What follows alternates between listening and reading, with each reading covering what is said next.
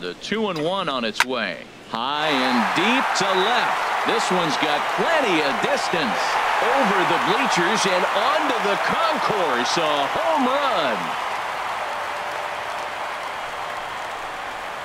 A solo shot here to left. And just like that, it's now a 5-2 ball game.